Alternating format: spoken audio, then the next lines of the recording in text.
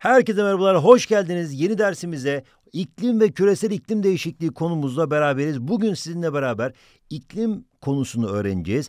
İklimin ve hava olaylarının birbirinden farkını öğreneceğiz. Gerçekten önemli konulardan bir tanesi. Eskiden biliyorsunuz mevsimlerin oluşumunu gördük sizinle beraber. Mevsimlerin oluşumunu beraber işlemiştik. Şimdi İkinci fen dersimizde iklimi göreceğiz. Ardından da DNA ve genetik kod bu çok önemli bir konu. Bunu öğreneceğiz. Programımıza uygun bir şekilde ilerlemeye devam ediyoruz. Sıfırdan sekize hazırlık programımızdayız biliyorsunuz ve adım adım gerçekten süper bir şekilde liseye kadar beraber olacağız. Hadi bakalım o zaman süper bir şekilde sizinle beraber hazırlık kampımızda iklim ve küresel iklim değişikliğine bakalım. Bir kere mevsimlerin oluşumunu beraber öğrenmiştik. Mevsimlerin nasıl oluştuğunu incelemiştik. Şimdi de mevsimler oluşurken tabii ki işte kış mevsimi, yaz mevsimi, işte e, sallıyorum ilkbahar mevsimi, sonbahar mevsimi gibi e, mevsimlerimiz vardı. Ama bu kış mevsimine, yaz mevsimine bazı bölgelerde baktığımız zaman işte diyoruz ki mesela Antalya bölgesinde, Akdeniz bölgesinde, Akdeniz bölgesinde e, kış mevsimine baktığımız zaman e, yağışlı geçiyor ama çok soğuk geçmiyor, kar yağmıyor. Ama İç Anadolu bölgesine baktığımız zaman yani Türkiye'miz böyle mesela diyelim. Türkiye'miz böyle İstanbul falan filan. Antalya bölgesi şurası Akdeniz bölgesi. Akdeniz bölgesine baktığımız zaman buralar yağışlı e, kışın. Yazında inanılmaz sıcak yanıyor. Çünkü burada işte Kıbrıs falan filan var. Aynı zamanda Akdeniz var falan filan. Ama burada İç Anadolu bölgesine veya Doğu Anadolu bölgesine baktığımız zaman burası da kışın donuyor resmen. İşte kar yağıyor işte bilmem hani çok soğuk oluyor. Yaz Yazınsa yine çok sıcak ve çok kurak da oluyor aynı zamanda. Şimdi bunların her birisi geniş bölgelerde yani belli bir bölgede uzun yıllar içerisinde kalan hemen şunu şöyle silelim. Uzun yıllar içerisinde kalan ortalama hava şartlarını gösteriyor bize. Yani aslında biz Akdeniz bölgesi geniş bir bölgeye bakıyoruz.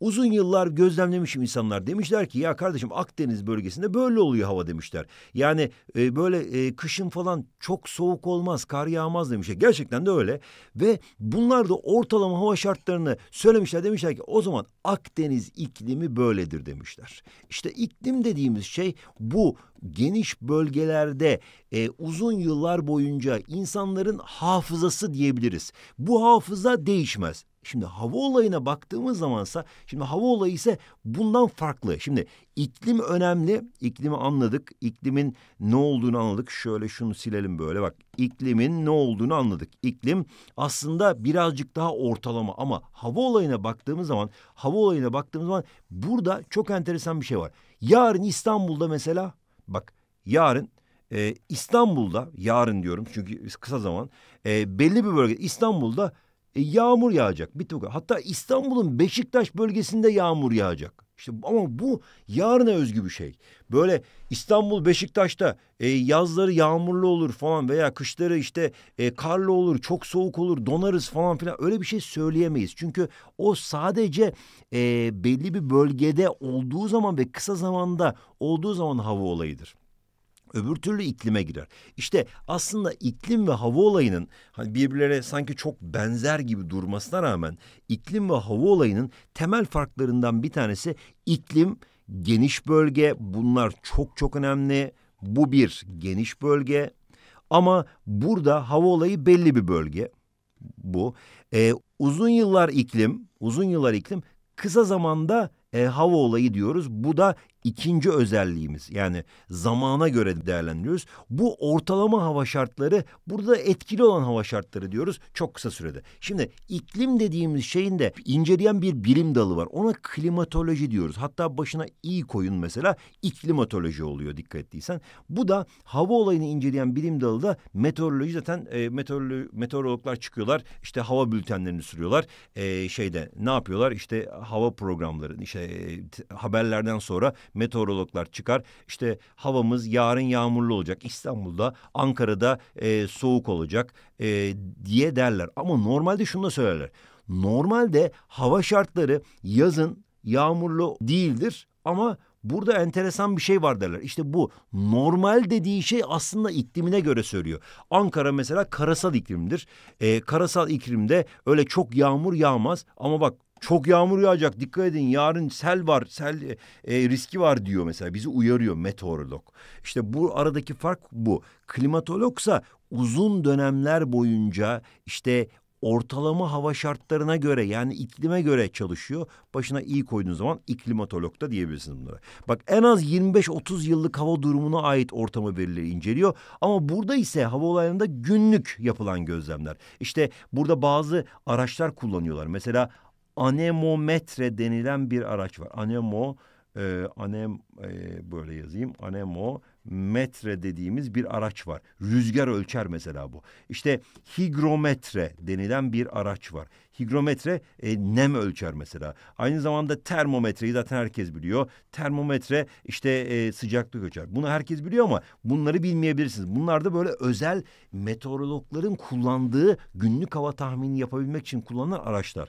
Gün içerisinde farklı zamanlarda farklılık gösteriyor. Mesela gün içinde sabah güneşliyken hava hani cep telefonumuzdan bakıyoruz ya işte öğleden sonra bulutlu olabilir havamız. Ondan sonra e, akşamleyin de yağmurlu olabilir. Bu hava durumu yani hava olayları böyle hızlı değişebilir. Ama iklim öyle hızlı değişmez. İşte Türkiye'nin iklimi, karasal iklim bilmem ne hep aynıdır. Ve kesin sonuçlar verir iklim. Yani e, yazları kesin Akdeniz bölgesi kuraktır kardeşim. Ama ha istisnalar olabilir. Mesela yarın yağmur yağacak diyebiliriz. Yarın yağmur yağabilir. Ama bunlar tahminidir. Bu tutmayabiliyor bazen. Hani mesela e, çok soğuk olacak diyor meteorologlar. Kazak giyiyoruz ama gerçekten de e, girmemize gerek kalmayabiliyor. Ben Furkan Taha Yeşilyurt. LGS Türkiye birincisi oldum ve Robert Koleji'ne gideceğim. Peki LGS hazırlık sürecinde sen nasıl hazırlandın? Ben sadece Tonguç dershaneye gittim. Ne özel ders aldım ne de gerçek bir dershaneye gittim. Okuldan zaten 5'e kadar sürüyordu. 5'ten sonra da geliyordum. Tonguç dershaneden denemelerimi çözüyordum. Konulara bakıyordum. Sonra uyuyordum. Şimdi burada şunu göstermek istiyorum.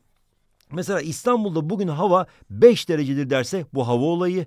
Akdeniz kışları ılıman yazları sıcaktır derse de aslında bu iklimi bize gösteriyor. Şimdi bir de rüzgar kavramı var. Rüzgar kavramı da aslında çok önemli. Rüzgar yatay yönlü bir hava hareketi. Yani e, aslında bir iki tane bölge olsun. Mesela şurası bir yer, şurası başka bir yer diyelim.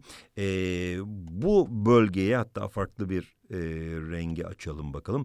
Bu bölgeye diyelim ki tane hava tanecikleri böyle böyle böyle böyle böyle böyle. Bu ne demek anlatacağım şimdi. Normalde bizim e, etrafımızda her tarafta oksijen molekülü, karbondioksit molekülü yani hava var etrafımızda aslında. Ve bu hava taneciklerden oluşuyor. Böyle ve tak tak tak yaptım. Şimdi diğer bölgede ise hava tanecikleri arasında mesafeler olsun. Yani birazcık daha aralıklı olsun. Şimdi e, bilim insanları demişler ki bu bölge yüksek basınç bölgesi. Çünkü hava tanecikleri burada çok fazla. Yani gerçekten de mesela ben insan olarak şöyle hemen şöyle göstereyim. Mesela ben bir insan olarak şöyle burada dursam benim üzerimdeki hava çok fazla. Benim üzerimdeki basınç çok fazla. Burada ben dursam ya üzerimde çok fazla hava yok ki benim üzerimdeki basınç çok da fazla değil diye düşünebilirim. İşte hemen buraya da alçak basınç diyorum. Şimdi bu yüksek basınç demişler, bu alçak basınç demişler. Ama her zaman e, doğada bir adalet var. İşte doğadaki adalet diyor ki burada fazla tanecik varsa, burada az tanecik varsa bunlar dengelenmek için yüksek basınçtan alçak basınca doğru bir hava akışı olur diyor ki bu hava tanecikleri buradan buraya gitsin de az olanı daha fazla gelsin ve bu denge olsun diye. İşte bu yatay yönlü hava hareketine biz rüzgar adını veriyoruz. Bu rüzgarın oluşmasını sağlayan basınç farkı. O yüzden yüksek basınç alanından alçak basınç alanına doğru yani şuradan şuraya doğru bir yatay yönlü hava hareketi olur ve biz buna e, rüzgar adını veriyoruz. Her zaman yüksek basınçtan alçak basınca doğru olur diyoruz. Peki e, bunu oluşturan şey nedir? Niye yüksek burada alçak basınç oluşuyor? Burada da sıcaklık farkı oluşturabiliyor bunu. Yani sıcaklık farkından dolayı aslında basınç farkı oluyor ve basınç farkı da e, neye dönüşüyor? Aslında rüzgarın oluşumuna sebep oluyor bunu bileceğiz. Genellikle alçak basınç alanlarına baktığımız zaman bulut ve yağış olma ihtimali yüksek basınç alanına göre daha fazla oluyor. Çünkü alçak basınç alanları yani şöyle hatta göstereyim. E, hatta şunu da silelim şöyle bir. Alçak basınç alanlarında şöyle bir görüntü çizerler genellikle genellikle hani bulut olduğunu, yüksek basınç alanlarında da genellikle şöyle bir görüntü çizerler. Burada güneşli bir açık hava vardır diye düşünebilirsiniz. Yani yüksek basınç alanı hani açık hava var. Burada ise e, yağmur olma ihtimali daha fazla ve burada da e, havanın kapalı olduğu e, ihtimali daha fazladır diye düşüneceğiz. Şimdi rüzgarın yönü ne demiştik? Yüksek basınçtan alçak basınca doğru demiştik ve e, bunu oluşturan şeylerden bir tanesi de burada havanın açık olması, burada da bulutlu olması, yağmur ve benzeri. Çünkü burada havanın aşağıda daha az olması, burada çok daha fazla böyle tanecik tanecik tanecikten olmasının sebebi hava yükseğe çıktığı için hava yükselmesi. Yani burada hava tanecikleri yukarı doğru çıkıyor. O yüzden burada az tanecik kalıyor aslında. Ama burada hava tanecikleri aşağı doğru iniyor. O yüzden burada bir, bayağı bir eşek kadar tanecik var. İşte o yüzden burası çok yoğun gözüküyor aslında. İşte burada yükselen hava hareketi oluyor. Yükselen hava hareketi alçak basınçta oluyor. Çok tersi dikkat edelim. Burada da alçalan hava hareketi oluyor. Alçalan hava hareketi oluyor. Burada yüksek basınç oluşuyor alçalan hava hareketinden dolayı. Bunu da bilmemiz önemli. Özellikle şöyle sorular çok çıkıyor. Mesela e, bir e, tepe var diyelim. Ondan sonra burada da e, deniz var diyelim. Şurası da deniz olsun mesela. E, genellikle akşam yerleri işte e, akşamleyin e, havanın mesela burada denizin aslında e, daha sıcak olduğunu söyleyebiliriz akşamleyin. E, buranın da karının da daha soğuk olduğunu. Bu sıcaklık farkından dolayı basınç farkı da oluşuyor. Isınan hava yükseliyor ve dolayısıyla burası bir anda alçak basınca dönüşüyor. E, soğuyan hava da e, alçalıyor. Dolayısıyla burası yüksek basınca dönüşüyor. Mesela akşamleyin buradan buraya doğru bir e, rüzgar e, akşam yeli eser mesela. E, tam tersinde ise e, sabahleyin ise e, gündüz vakti daha doğrusu e, karalar daha sıcak olur. Bunun da tam tersine doğru bir akış olur. İşte bu e, sabah e, ve akşam meltemleri denir buna. Bu da aklımızın köşesinde bulunsun. Meltem rüzgarın bir çeşidi diye düşünebiliriz. Bir de hava hareketlerine baktığımız zaman yağmur var, e, kar var, sis var, dolu var. Yani e, havanın içinde bulunan nemin nemin e, ki bu e, aslında su buharı. Yani bizim şu anda e, içinde bulunduğumuz havanın içerisinde su buharı yani H2O var ve bunu biz e, havanın içindeki e, ise biz buna nem adını veriyoruz. Bu nemin aslında farklı şekillerde yeryüzüne düşmesi. Mesela yağmur yağış şeklinde bulutlardaki su buharının yoğuşarak su damlacıkları oluşturup zaten bizim bildiğimiz bir şey aslında. Bu üzerimize yağması diyoruz. Karsa çok soğuk bir hava ile karşılaşınca bu su buharı donarak buz kristalleri şeklinde e, aslında yere düşüyor e, ve Burada sis olduğu zaman da atmosferin yeryüzüne yakın yerlerinde oluşuyor ve sis böyle e, arabayla gidiyoruz mesela bir anda bakıyoruz e, aa bulut gibi ya bulutun içinden gidiyormuş gibi oluyor. Gerçekten de buna yüzey bulutu adını da verebiliyoruz. Yüzey e, buluta adını veriyoruz. Resmen bulut e, yüzeye düşüyor, aşağı düşüyor. Normalde bulut nerede olması gerekiyor? Havanın yukarıda olması gerekiyor değil mi? Ama bulut aşağı düşünce böyle bizim içimize gelince biz bunu sis olarak adlandırıyoruz. Onu da söyleyelim. Şimdi bir de e, burada bak yağmur, kar yeryüzüne yukarıda yerlerde oluşuyor. Dolu da aynı şekilde. Mesela şunu hemen şöyle silelim. Meltem'i falan filan silelim bakalım. Mesela şöyle bir e, yine e, havadaki su damlacıkları bir araya gelip ani sıcaklık düşü, düşüyor. Böyle böyle toplar şeklinde yağıyor. Hatta İstanbul'da bir dolu felaketi de oldu geçtiğimiz yıllarda. Gerçekten arabalara, evlere, her yere zarar verebiliyor. Böyle toplar şeklinde düşüyor yere ama çok soğuk bir anda donuyor buz topuna dönüşüyor bunlar. Bunlar da e, işte e, havada olan şeyler. Tabii burada bir de şunu da söylemek istiyorum. Çiğ ve kırağı denilen bazı olaylar daha var. Çiğ ve kırağı da aslında e, yüzeyde su damlacıklarına dönüşüyorsa, su şeklinde geliyorsa, burada da yüzeyde buz kristallerine dönüşüyorsa, yeryüzüne yakın yerlerde bunu da aklımıza tutmamızda fayda var diyor. Arkadaşlar videonuzu balla bölüyorum ama size çok güzel bir haberim var. Sıfırdan 8'e hazırlık setine sahip olan arkadaşlarımız Tonguç Dershane'de %25 indirim hakkı kazanıyor. İndirime ulaşmak da çok kolay. Setin arkasında bulunan bu bölümü kazıdığınızda bir koda ulaşıyorsunuz. Bu kodu Tonguç Dershane'de ödeme adımlarında indirim kodu yazan yere girerek Tonguç Dershane'de %25 indirimin sahibi oluyorsunuz. Hepinize iyi dersler. Hadi bakalım küresel iklim değişikliğine geldik. Artık küresel iklim değişikliği zaten dünyanın en önemli tehdidi olarak, dünyanın şu andaki en önemli tehdidi olarak geçen e, konu. E, ne demek bu? Aslında iklim değişiyor, dünyadaki buzullar eriyebilir ve e, gerçekten büyük felaketler kapımızda. İşte kışın ortasında e, işte sallıyorum çok güneşli günler veya yazın ortasında kar yağışı gibi saçma sapan şeyler olabiliyor. Mesela iklim bir kere uzun yıllar boyunca ortalama sıcaklıklar ve değişmiyor. Ama iklimlerin yapısında meydana gelen küresel çaptaki değişimlere biz küresel iklim değişikliği adını veriyoruz ve gerçekten de dünyada şu anda Amerikan başkanından tut Birleşmiş Milletler'in başkanına kadar işte dünyadaki bütün herkes bunun e, derdinde Avrupa Birliği ve benzeri bunun için komisyonlar kuruldu. Hatta e, bizim bakanlıklarımızın adı bile e, Çevre Bakanlığı olarak Çevre ve İklim e, Bakanlığı olarak da değişiyor. Dolayısıyla gerçekten önemli konu. Şimdi normal yazın ortasında bu şekilde otururuz, yaz, yatarız ama bir anda böyle mesela hortum çıktı veya kar yağışı oldu. Ne olur diye, ne oluyor kardeşim?